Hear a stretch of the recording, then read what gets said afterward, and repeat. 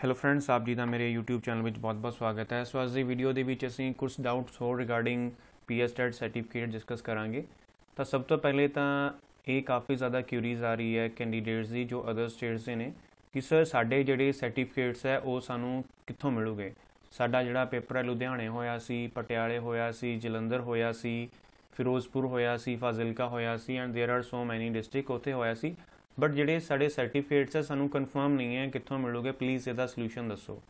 ਇੱਕ ਤਾਂ ਇਹ ਆਪਾਂ ਅੱਜ ਦੀ ਇਸ ਵੀਡੀਓ ਵਿੱਚ ਡਿਸਕਸ ਕਰਾਂਗੇ।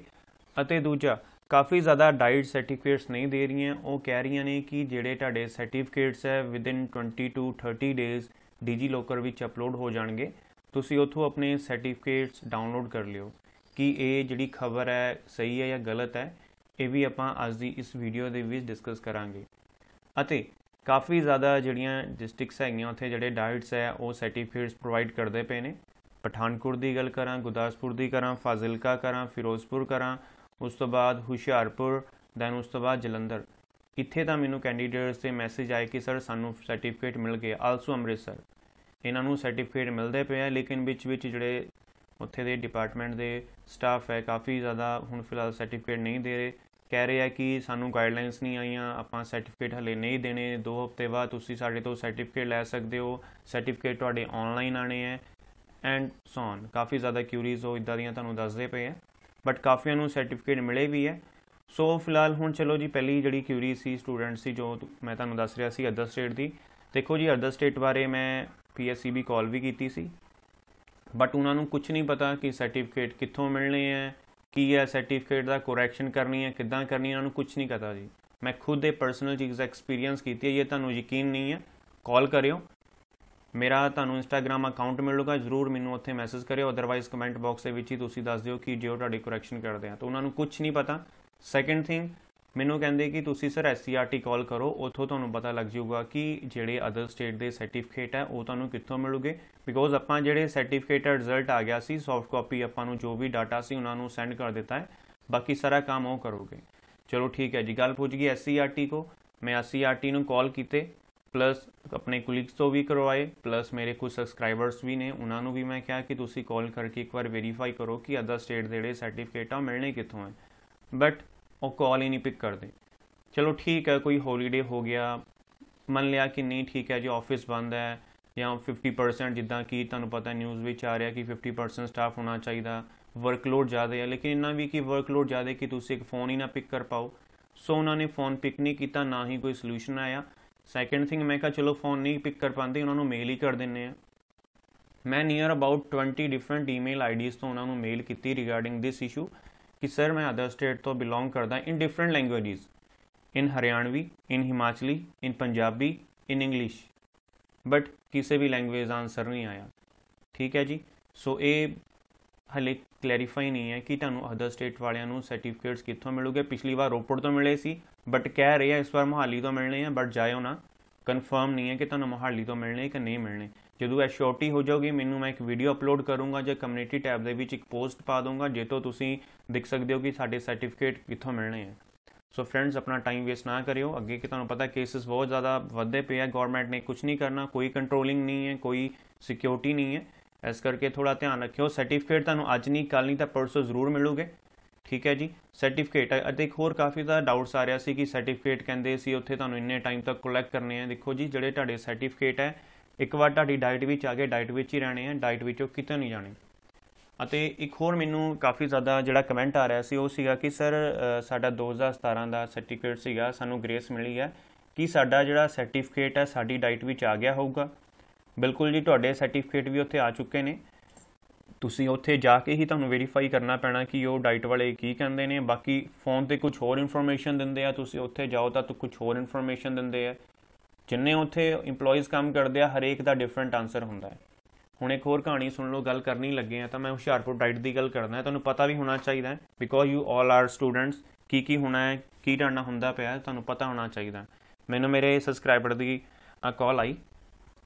ਹੀ ਸੈਡ ਕਿ ਮੈਂ ਸਰ ਅਜਵਾਲ ਗਿਆ ਸੀ ਡਾਈਟ ਉੱਥੇ ਮੈਂ ਕਾਲ ਕੀਤੀ। ਪਹਿਲਾਂ ਤਾਂ ਉੱਥੇ ਗਏ ਸੀ। ਠੀਕ ਹੈ ਜੀ, ਉਹਨਾਂ ਨੇ ਲੌਕ ਲੱਗਾ ਸੀ, ਬੰਦ ਸੀ। ਠੀਕ ਹੈ ਜੀ, ਆ ਗਏ, ਉਹਨਾਂ ਨੇ ਕਾਲ ਕੀਤੀ। ਤਾਂ ਉਹ ਕਹਿੰਦੇ ਕਿ ਤੁਸੀਂ ਇਦਾਂ ਕਰਿਓ, ਇੰਨੀ ਤਰੀਕ ਨੂੰ ਆ ਜਿਓ, ਤਾਂ ਆਪਣਾ ਸਰਟੀਫਿਕੇਟ ਲੈ ਲਿਓ। ਉੱਥੇ ਗਏ, ਉੱਥੇ ਉਹਨਾਂ ਨੂੰ ਸੈਕਿੰਡ ਪਰਸਨ ਮਿਲਿਆ ਕੋਈ। ਸੈਕਿੰਡ ਪਰਸਨ ਕਹਿੰਦਾ ਕਿ ਸਰ ਆਪਾਂ ਸਰਟੀਫਿਕੇਟ ਪ੍ਰੋਵਾਈਡ ਨਹੀਂ ਕਰਨੇ ਤੁਹਾਨੂੰ, ਸਾਨੂੰ ਹਲੇ ਕੋਈ ਵੀ ਉੱਪਰੋਂ ਗਾਈਡਲਾਈਨਸ ਨਹੀਂ ਆਈਆਂ। ਚਲੋ ਠੀਕ ਹੈ ਗਾਈਡਲਾਈਨਸ ਨਹੀਂ ਹੈ ਜਦ ਨਹੀਂ ਆਈਆਂ, ਤਾਂ ਤੁਸੀਂ ਬਾਕੀਆਂ ਨੂੰ ਕਿੱਦਾਂ ਸਰਟੀਫਿਕੇਟ ਦੇਤੇ? ਠੀਕ ਹੈ ਜੀ, ਉਹਨੂੰ ਸਰਟੀਫਿਕੇਟ ਨਹੀਂ ਮਿਲਿਆ। ਕਹਿੰਦੇ ਜੀ, ਤੁਹਾਡੇ ਸਰਟੀਫਿਕੇਟ ਜਿਹੜੇ ਆ, ਉਹ ਬਾਅਦ ਚ ਮਿਲੋਗੇ। ਠੀਕ ਹੈ, ਅਗਲਾ ਪਰਸਨ ਗਿਆ। ਉਹਨਾਂ ਨੂੰ ਕਹਿੰਦੇ ਆ ਜੀ, ਤੁਹਾਡੇ ਜਿਹੜੇ ਸਰਟੀਫਿਕੇਟਸ ਹੈ 20 ਦਿਨਾਂ ਅੰਦਰ ਤੁਹਾਡੇ ਆਨਲਾਈਨ ਆ ਜੂਗੇ। ਤੁਸੀਂ ਉੱਥੋਂ ਉਹਨੂੰ ਡਾਊਨਲੋਡ ਕਰ ਲਿਓ ਅਤੇ ਦੇਖ ਲਿਓ। ਦੇਖੋ ਜੀ, ਜਿਹੜੀ ਚੀਜ਼ ਤੁਸੀਂ ਡਾਊਨਲੋਡ ਕਰਨੀ ਹੈ ਉਹ ਤਾਂ ਤੁਸੀਂ K4 ਪੇਜ ਤੇ ਕਰਨੀ ਹੈ ਫੋਟੋਕਾਪੀ ਵਾਲੇ ਪੇਜ ਤੇ। ਓਰੀਜਨਲ ਥੋੜੀ ਹੈ। ਅਗਰ ਤੁਸੀਂ ਕਿੱਥੇ ਵੀ ਲੈ ਕੇ ਜਾਓਗੇ ਅੱਜ ਕੱਲ ਸੌਫਟ ਕਾਪੀ ਜਿਹੜਾ ਮਰਜ਼ੀ ਰੈਡੀ ਕਰ ਲੈ। ਮੇਰੇ ਕੋਲ ਤੁਸੀਂ ਜਿੰਨੀਆਂ ਮਰਜ਼ੀ ਡੁਪਲੀਕੇਟ ਸੌਫਟ ਕਾਪੀਆਂ ਜਿਸ ਮਰਜ਼ੀ ਜਿਸ ਤਰ੍ਹਾਂ ਮਰਜ਼ੀ ਦਾ ਸਰਟੀਫਿਕੇਟ ਤੁਸੀਂ ਕ੍ਰੀਏਟ ਕਰਾ ਲਓ।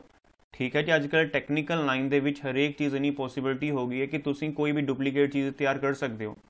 ਠੀਕ ਹੈ ਟੀਵੀ ਦੇਖੋ ਟੀਵੀ ਦੇ ਵਿੱਚ ਕਿੰਨੀ ਜ਼ਿਆਦਾ ਨਿਊਜ਼ ਆਉਂਦੀਆਂ ਕਿ ਸਰਟੀਫਿਕੇਟ ਕਿਸੇ ਨੇ ਡੁਪਲੀਕੇਟ ਸੀਗੇ, ਉੱਥੇ ਜਮ੍ਹਾਂ ਕਰਾਤੇ ਅਗਰ ਕੋਈ ਪਰਸਨ ਤੁਹਾਨੂੰ ਪਤਾ ਹੈ ਗਵਰਨਮੈਂਟ ਜੌਬ ਵੀ ਲੈਂਦਾ, ਉੱਥੇ ਵੀ ਡਾਕੂਮੈਂਟਸ ਦੀ ਵੈਰੀਫਿਕੇਸ਼ਨ ਹੁੰਦੀ ਹੈ।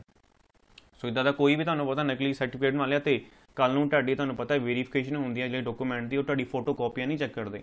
ਉਹ ਤੁਹਾਡੀ ਓਰੀਜਨਲ ਜਿਹੜੇ ਤੁਹਾਡੇ ਸਰਟੀਫਿਕੇਟਸ ਆ, ਉਹ ਚੈੱਕ ਕਰਦੇ ਆ ਅਤੇ ਫਾਈਨਲ ਗੱਲ ਜਿਹੜੀ ਮੈਂ ਕਰਨ ਲੱਗਾ ਤੁਹਾਡਾ ਨਾਲ, ਗੱਲ ਰਹੀ ਡਿਜੀ ਲੋਕਰ ਦੀ ਡਿਜੀ ਲੋਕਰ ਦੇ ਵਿੱਚ ਡਾਟਾ ਅਪਲੋਡ ਕਰਨਾ ਕੋਈ ਸੌਖੀ ਗੱਲ ਨਹੀਂ ਹੈ ਜੀ। ਅਗਰ ਉਹਨਾਂ ਨੇ 2018 ਦਾ ਰਿਜ਼ਲਟ ਉੱਥੇ ਅਪਲੋਡ ਕੀਤਾ, ਤਾਂ ਉਹਨਾਂ ਨੂੰ 1-2 ਸਾਲ ਪਿਛਲੇ ਵਾਲਿਆਂ ਦਾ ਵੀ ਰਿਜ਼ਲਟ ਅਪਲੋਡ ਕਰਨਾ ਹੈ।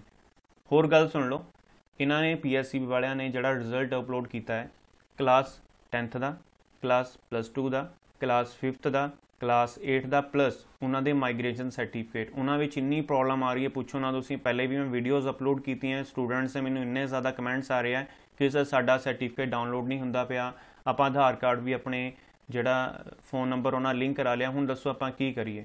ਆਹ ਦੇਖੋ, ਮੈਂ ਤੁਹਾਨੂੰ ਐਗਜ਼ਾਮਪਲ ਵੀ ਦੇ ਦਿੰਨਾ ਹੈ ਮੇਰੇ ਇੱਕ ਸਬਸਕ੍ਰਾਈਬਰ ਹੈ, ਉਹਨਾਂ ਦਾ ਮੈਨੂੰ ਮੈਸੇਜ ਆਇਆ ਸੀਗਾ ਦੇਖੋ। ਐਰਰ ਆ ਰਿਹਾ, ਇਹ ਕਲਾਸ ਇਹਨਾਂ ਮੇਰੇ ਖਿਆਲ ਨਾਲ 10th ਦਾ ਸਰਟੀਫਿਕੇਟ ਹੈ, ਬਿਲਕੁਲ ਲਾਸਟ 10th ਦੀ ਮਾਰਕ ਸ਼ੀਟ ਤੇ ਡਾਊਨਲੋਡ ਕਰਨ ਲੱਗੇ ਸੀਗੇ। ਬਟ ਇਹ ਇਹਨਾਂ ਨੂੰ ਐਰਰ ਨੀਅਰ ਨੀਅਰ ਅਬਾਊਟ 20 ਦਿਨਾਂ ਤੋਂ ਆ ਰਿਹਾ ਹੈ। ਠੀਕ ਹੈ ਜੀ ਸੋਲੂਸ਼ਨ ਮੈਂ ਇਹਨਾਂ ਨੂੰ ਦੱਸਦਾ ਹੈ, ਹੋ ਸਕਦਾ ਇਹਨਾਂ ਦਾ ਸੋਲੂਸ਼ਨ ਹੋ ਗਿਆ ਹੋਏ। ਆਹ ਦੇਖ ਲਓ ਜੀ fetching data from its origignal source ਸਭ ਕੁਝ ਟਿਕ ਮਾਰਕ ਹੋ ਗਿਆ, ਲੇਕਿਨ ਦੇਖੋ ਜੀ ਗੈਟ ਡਾਕੂਮੈਂਟ ਕਰਨ ਤੇ ਇਹਨਾਂ ਦਾ ਜਿਹੜਾ ਮਾਰਕ ਸ਼ੀਟ ਹੈ ਰਿਸੀਵ ਹੀ ਨਹੀਂ ਹੋ ਰਿਹਾ। ਇਹ ਮੈਂ ਸਿਰਫ ਤੁਹਾਨੂੰ ਡਿਜੀ ਲੋਕਰ ਦੀ ਗੱਲ ਕਰਦਾ ਪਿਆ ਕਲਾਸ 10 ਦੀ। ਸੇਮ 12 ਦੀਆਂ ਪ੍ਰੋਬਲਮ ਸਾਰੀਆਂ ਕਈਆਂ ਦੇ ਹੋ ਵੀ ਰਹੀਆਂ ਮੈਂ ਨਹੀਂ ਕਹਿਣਾ ਨਹੀਂ ਹੋ ਰਹੇ। ਬਟ ਜ਼ਿਆਦਾਤਰ ਜਿਹੜਾ ਪ੍ਰੋਬਲਮ ਹੈ, ਬੱਚਿਆਂ ਨੂੰ ਆ ਰਹੀ ਹੈ ਡਿਜੀ ਲੋਕਰ ਵਿੱਚੋਂ। ਤਾਂ ਅਗਰ ਗੱਲ ਆਪਾਂ ਕਰੀਏ ਤੁਹਾਡੀ, ਤਾਂ ਲਾ ਲਓ ਤੁਹਾਡੀ ਸਟਰੈਂਥ ਕਿੰਨੀ ਸੀ, ਜਿਨ੍ਹਾਂ ਨੇ ਪੀਐਸ ਟੈਟ ਪਾਸ ਕੀਤਾ, ਮੇਰੇ ਖਿਆਲ ਨਾਲ 80000 ਪਲੱਸ ਤਾਂ ਹੈਗੀ ਹੈ ਇਨਕਲੂਡਿੰਗ ਅਦਰ ਸਟੇਟਸ ਜਿਹੜੇ ਵਿੱਚ ਹੈਗੇ ਆ। ਅਤੇ ਡਿਫਰੈਂਟ ਸਬਜੈਕਟਸ ਦੀ ਗੱਲ ਕਰੀਏ ਤਾਂ ਪੁੱਛੋ ਨਾ, ਕਿਸੇ ਨੇ ਪਹਿਲਾ ਪੇਪਰ ਪਾਸ ਆਊਟ ਕੀਤਾ, ਕਿਸੇ ਨੇ ਸੈਕਿੰਡ ਕੀਤਾ, ਕਿਸੇ ਨੇ ਦੋਨੇ ਕੀਤੇ ਹੈ ਕੋਈ ਅਦਰ ਸਟੇਟ ਦਾ ਹੈ। ਠੀਕ ਹੈ ਜੀ, ਕਿਸੇ ਦਾ ਪੁਰਾਣਾ ਪੇਪਰ ਸੀ ਉਹਨਾਂ ਨੇ ਵੀ ਕੀਤੇ ਆ। ਹੁਣ ਤੁਹਾਨੂੰ ਪਤਾ ਜਿਹੜੇ ਇਸ ਸਾਲ ਬੱਚੇ ਪਾਸ ਆਊਟ ਹੋਏ ਆ ਕਿੰਨੇ ਬੱਚੇ ਪਾਸ ਆਊਟ ਹੋਏ ਸਟਰੈਂਥ ਕਿੰਨੀ ਹੈ, ਕਿੰਨੀ ਜ਼ਿਆਦਾ ਸਾਡੀ ਪੋਪੂਲੇਸ਼ਨ ਹੋ ਚੁੱਕੀ ਹੈ। ਸੋ ਸਰਟੀਫਿਕੇਟ ਦੇਖੋ ਕਿੰਨਿਆਂ ਨੂੰ ਮਿਲਣੇ ਹੈ ਆਨਲਾਈਨ ਅਪਲੋਡ ਹੋਣੇ ਇਹਨੂੰ ਕਾਫੀ ਜ਼ਿਆਦਾ ਟਾਈਮ ਲੱਗਦਾ ਹੈ ਅਪਲੋਡ ਕਰਨ ਵਾਸਤੇ ਅਤੇ ਜਦੋਂ ਤੁਸੀਂ ਡਾਊਨਲੋਡ ਕਰਨਾ ਉਹਦੇ ਵਿੱਚ ਤੁਸੀਂ ਪੁੱਛੋ ਨਾ ਕਿੰਨੀਆਂ ਤੁਸੀਂ ਪ੍ਰੋਬਲਮ ਫੇਸ ਕਰਨੀ ਹੈ ਬਿਕਾਜ਼ ਜਿਹੜਾ ਡਾਟਾ ਤੁਹਾਡਾ ਸਰਵਰ ਨਾਲ ਲਿੰਕ ਹੁੰਦਾ ਸਰਵਰ ਵੀ ਤੁਹਾਡਾ ਬਹੁਤ ਵਧੀਆ ਚਾਹੀਦਾ ਹੈ। ਸਰਵਰ ਮੀਨ ਟੂ ਸੇ ਜਿੱਥੇ ਸਾਰਾ ਤੁਹਾਡਾ ਡਾਟਾ ਸਟੋਰ ਹੁੰਦਾ ਹੈ। ਅਗਰ ਮੈਂ ਗੱਲ ਕਰਾਂ ਸੀਬੀਐਸਈ ਦੀ ਸੀਬੀਐਸਈ ਦੇ ਸਰਵਰਸ ਬਹੁਤ ਵਧੀਆ, ਤੁਹਾਨੂੰ ਪਤਾ ਜਦੋਂ ਤੁਹਾਡਾ ਪੀਐਸ ਟੈਟ ਦਾ ਪੇਪਰ ਹੋਣਾ ਸੀਗਾ, ਤੁਹਾਡਾ ਕਿੰਨੀ ਵਾਰ ਐਡਮਿਟ ਕਾਰਡ ਗਲਤ ਹੋਏ ਸੀ। ਠੀਕ ਹੈ ਜੀ? ਹੁਸ਼ਿਆਰਪੁਰ ਵਾਲਾ ਬੰਦਾ ਪਟਿਆਲੇ ਪਹੁੰਚ ਗਿਆ ਸੀ, ਜਲੰਧਰ ਵਾਲਾ ਪਹੁੰਚ ਗਿਆ ਸੀ ਪਠਾਨਕੋਟ। ਠੀਕ ਹੈ ਜੀ? ਸੋ ਉਸ ਦੇ ਅਕੋਰਡਿੰਗ ਤੁਹਾਡੇ ਮੇਰੇ ਖਿਆਲ ਨਾਲ ਦੋ ਜਾਂ ਤਿੰਨ ਵਾਰ ਤੁਹਾਡਾ ਪੇਪਰ ਜਿਹੜਾ ਪੋਸਟਪੋਨ ਹੋਇਆ ਸੀ, ਤਾਂ ਬਾਕੀ ਗੱਲ ਰਹੀ ਸਰਟੀਫਿਕੇਟ ਸੀ। ਅਗਰ ਤੁਸੀਂ ਲੈਣੇ ਆ ਥੋੜਾ ਵੇਟ ਕਰ ਲਓ, ਕੋਈ ਪ੍ਰੋਬਲਮ ਨਹੀਂ ਹੈ ਸਰਟੀਫਿਕੇਟ ਤੁਹਾਨੂੰ ਮਿਲੋਗੇ, ਤੁਹਾਡੇ ਹੀ ਸਰਟੀਫਿਕੇਟ ਹੈ।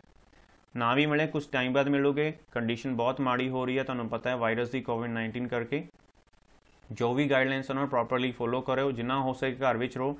ਬਟ ਮੈਨੂੰ ਪਤਾ ਹੈ ਘਰ ਵਿੱਚ ਰਹਿਣਾ ਵੀ ਔਖਾ ਹੈ ਬਿਕੋਜ਼ ਜੌਬਸ ਵੀ ਜ਼ਰੂਰੀ ਹੈ, ਕੰਮ ਵੀ ਜ਼ਰੂਰੀ ਹੈ। ਅਗਰ ਕੰਮ ਨਹੀਂ ਕਰੋਗੇ ਤਾਂ ਤੁਸੀਂ ਖਾਓਗੇ ਕੀ? ਤੋ ਇਹ ਵੀ ਫਰੈਂਡਸ ਜ਼ਰੂਰੀ ਹੈ, ਤਾਂ ਬਾਕੀ ਫਿਲਹਾਲ ਆਪਣਾ ਵੀ ਖਿਆਲ ਰੱਖੋ, ਦੂਜਿਆਂ ਦਾ ਵੀ ਖਿਆਲ ਰੱਖੋ। ਬਾਕੀ ਗੱਲ ਦੀ ਸਰਟੀਫਿਕੇਟ ਦੀ ਜਿੰਨਾ ਜ਼ਿਆਦਾ ਹੋ ਸਕੇ ਮੈਂ ਤੁਹਾਡੀ ਹੈਲਪ ਕਰਾਂਗਾ। ਕੋਈ ਵੀ ਤੁਹਾਨੂੰ ਹੋਰ ਪ੍ਰੋਬਲਮ ਆਉਂਦੀ ਹੈ ਤਾਂ ਤੁਸੀਂ ਕਮੈਂਟ ਬਾਕਸ ਦੇ ਵਿੱਚ ਕਮੈਂਟ ਕਰਕੇ ਉਸ ਦਾ ਸੋਲੂਸ਼ਨ ਲੈ ਸਕਦੇ ਹੋ। ਤੇ ਨਾਲ ਦੇ ਨਾਲ ਸਾਡੇ ਇੰਸਟਾਗ੍ਰam ਪੇਜ ਨੂੰ ਵੀ ਜ਼ਰੂਰ ਫੋਲੋ ਕਰੋ ਫੇਸਬੁੱਕ ਪੇਜ ਨੂੰ ਵੀ ਫੋਲੋ ਕਰੋ। ਸੋ ਦੈਟ ਜੋ ਵੀ ਲੇਟੈਸਟ ਅਪਡੇਟਸ ਆਉਂਦੀਆਂ, ਮੈਂ ਉਹਦੇ ਵਿੱਚ ਵੀ ਅਪਲੋਡ ਕਰਦਾ ਹਾਂ। ਬਿਕੋਜ਼ ਹਰੇਕ ਪਰਸਨ ਜਿਹੜਾ ਹੈਗਾ YouTube ਨਾਲ ਲਿੰਕ ਨਹੀਂ ਹੁੰਦਾ ਕੁਝ ਇੰਸਟਾਗ੍ਰam ਨੂੰ ਫੋਲੋ ਕਰਦੇ ਕੁਝ ਟਵਿੱਟਰ ਨੂੰ ਫੋਲੋ ਕਰਦੇ ਕੁਝ ਫੇਸਬੁੱਕ ਨੂੰ ਫੋਲੋ ਕਰਦੇ ਆ। ਅਤੇ ਹੋਰ ਵੀ ਬਹੁਤ ਸਾਰੇ ਅੱਜਕੱਲ ਸੋਸ਼ਲ ਐਪਸ ਆ ਜਿਹੜਾ ਤੁਸੀਂ ਯੂਜ਼ ਕਰਦੇ ਹੋ। ਸੋ ਇਨਫੋਰਮੇਸ਼ਨ ਫਰੈਂਡਸ ਵਧੀਆ ਲੱਗੀ ਹੋਏ ਤਾਂ ਚੈਨਲ ਨੂੰ ਜ਼ਰੂਰ ਸਬਸਕ੍ਰਾਈਬ ਕਰਨਾ।